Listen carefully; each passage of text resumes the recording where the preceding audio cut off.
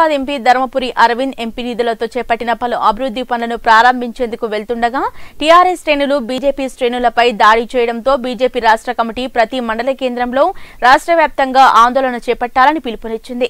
దీంతో చేగుంట మండలం నుంచి బీజేపీ నాయకులు ఆందోళన కార్యక్రమం చేపట్టకుండా ఎస్సీ సుభాష్ గౌడ్ ఆధ్వర్యంలో బీజేపీ నాయకులు మండల బీజేపీ అధ్యక్షులు భూపాల్ బీజేపీ రాష్ట్ర కార్యవర్గ సభ్యుడు కరణం గణేష్ రవికుమార్ జిల్లా ప్రధాన కార్యదర్శి గొల్లపల్లి సర్పంచ్ ఎల్లారెడ్డి జిల్లా సీనియర్ నాయకుడు రెడ్డిపల్లి మాజీ సర్పంచ్ బాలచందర్ దుబ్బాక నియోజకవర్గ కో కన్వీనర్ గోవింద్ మండల బీజేవైఎం అధ్యక్షులు శేఖర్ గౌడ్ తదితరులను పోలీసులు అరెస్ట్ చేసి పోలీస్ స్టేషన్కు తరలించారు. అనంతరం బీజేపీ నాయకులు మాట్లాడుతూ బీజేపీ నాయకులపై జీవన్ రెడ్డి అనుచరులు దాడి చేయడం హేయమైన చర్య అని వారు అన్నారు.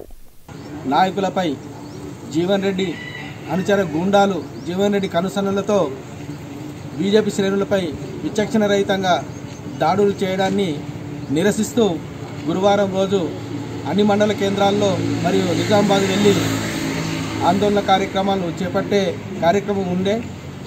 ఇది తెలుసుకున్న ముందస్తు సమాచారంతో పోలీసులు బీజేపీ కార్యకర్తలను నాయకులను ఇళ్ళ నుండి బలవంతంగా అరెస్టు చేసి తీసుకువచ్చి పోలీస్ స్టేషన్లో నిర్బంధించారు. ఇది ప్రజాస్వామ్యాన్ని పూని చేయడమే ఒక్క ఎమ్మెల్యే కూడా కేసీఆర్ దగ్గరికి వెళ్ళి ఆ గడీల కోటలను ఛేదించుకొని వెళ్ళి ఆయనను కలిసి నయా పైసా నిధులు తేలేని ఈ వెర్రిమూకలు ఎమ్మెల్యేలు ఆయన మోచేతి కింద ఉండి ఆ ఎమ్మెల్యే పదవి పెద్ద గొప్పదని కిరీటంగా భావించి ప్రజలను మభ్యపెడుతూ టీఆర్ఎస్ వాళ్ళు కాలం గడుపుతున్నారు. మరి అదే ఎంపీ నిధులతోటి అభివృద్ధి పనులు తీసుకువచ్చి చేస్తుంటే అది జీర్ణించుకోలేక మా పేరు ఎక్కడ పోతుందో మాకు నామజా ఉంటుందనే ఉద్దేశంతో ఈ విధంగా దాడులు చేయడం అనేది ప్రజలు గ్రహిస్తున్నారు. జీవన్ రెడ్డి ఒక పిచ్చి కుక్కలాగా తయారైనాడు. ఆయన భాష కానీ ఆయన మాట తీరు కానీ ఒక ఎమ్మెల్యే పదవికి ఉందంగా లేదు. ఒక గూండా తీరుగా ప్రవర్తిస్తూ అధికారం మా చేతిలో ఉంది. ఏది చేస్తే నడుస్తుంది అనేది ఒక గూండాయిజాన్ని చెలాయిస్తున్నాడు.